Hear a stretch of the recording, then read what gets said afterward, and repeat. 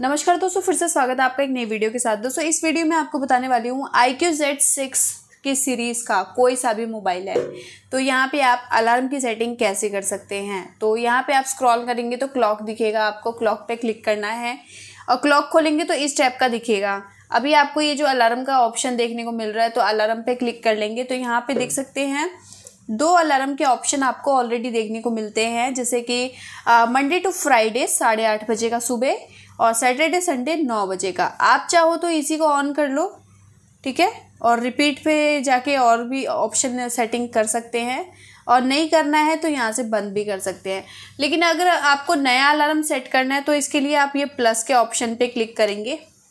अब ना, घड़ी कुछ इस टाइप की दिखेगी। अगर ये वाली घड़ी आपको नहीं समझ में आती है तो ये जो साइड में कीबोर्ड का ऑप्शन है, इस पर क्लिक करेंगे तो घड़ी चेंज हो जाएगी। देख सकते हैं, ऐसे टच कर लेंगे।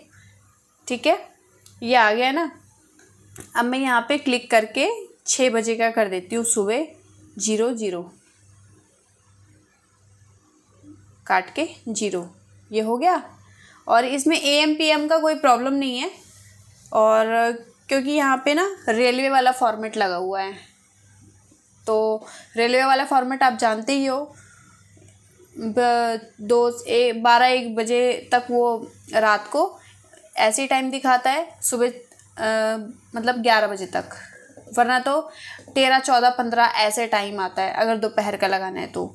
ठीक है? या फिर अगर आपको इस टाइम में ए एम पी एम नहीं शो हो रहा है प्रॉब्लम आ रही है तो जाके ना पहले आप सेटिंग पे ऐसे चले जाएँगे डेट एंड टाइम पे। अभी इसको ना रेलवे वाला फॉर्मेट बंद करके ये वाला ऑन कर देती हूँ लोकल डिफ़ॉल्ट तब आप देख सकते हैं कि यहाँ पे ए एम पी एम वाला ऑप्शन आएगा। देख सकते हैं ए एम पी एम वाला ऑप्शन आ गया है, ठीक है? अभी आपकी कन्फ्यूज़न दूर हो जाएगी। तो मैंने ए एम कर दिया है, यानी कि सुबह का। अब यहाँ पे आपको रिपीट पे क्लिक करना है।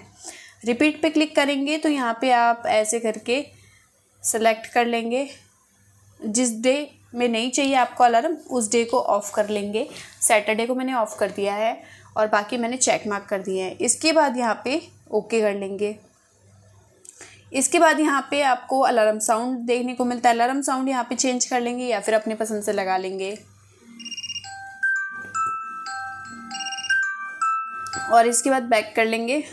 इसके बाद यहाँ पे आपको वाइब्रेशन का ऑप्शन देखने को मिलता है। और कई लोगों को वाइब्रेशन नहीं पसंद आती है तो वो ऑफ़ कर सकते हैं अदरवाइज़ ऑन कर सकते हैं आप। और इसके बाद लेबल आ जाता है तो लेबल पे आप कोई भी एक ऐसा टॉपिक डाल सकते हैं, जिससे आपको रिमाइंड हो जाए रिमाइंडर कहते हैं इसको। जैसे कि मेरे को मॉर्निंग वॉक पे जाना होता है तो मैं यहाँ पे मॉर्निंग वॉक लिख दूँगी ओके कर दूँगी। तो यहाँ पे जब भी अलार्म बजेगा स्क्रीन पे मॉर्निंग वॉक लिखा आएगा। चेक मार्क पे क्लिक कर देंगे तो ये आपका सेट हो चुका है और ऑफ़ करना है तो ऑफ़ कर देंगे ऑन करना है ऑन कर देंगे।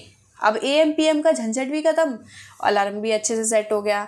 लेकिन अभी भी पूरी तरह नहीं सेट हुआ है। आप यहाँ पे थ्री डॉट पे जाएँगे सेटिंग पे जाएँगे और यहाँ पे स्नूज़ का ऑप्शन क्लिक कर लेंगे। स्नूज़ कितने टाइम बाद होना चाहिए? एक मिनट बाद, पाँच मिनट बाद या दस मिनट बाद?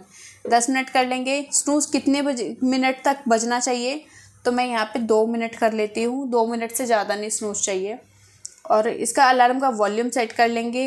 इसको आप ऑन कर देंगे फाइव सेकेंड पे, ताकि ये अचानक से ना बजे। धीरे धीरे धीरे धीरे ऐसे तेज हो अलार्म और वॉल्यूम पावर बटन से क्या होना चाहिए? डिसमिस होना चाहिए। तो यहाँ पे कोई भी वॉल्यूम बटन या पावर बटन दबाएँगे तो अलार्म कट जाएगा आपका। और इसके बाद यहाँ पे छोड़ देंगे, इसके बाद बैक कर लेंगे। अलार्म की फुल सेटिंग बता दी है मैंने। चलिए मिलते हैं आपको एक नेक्स्ट वीडियो में, तब तक के लिए नमस्कार।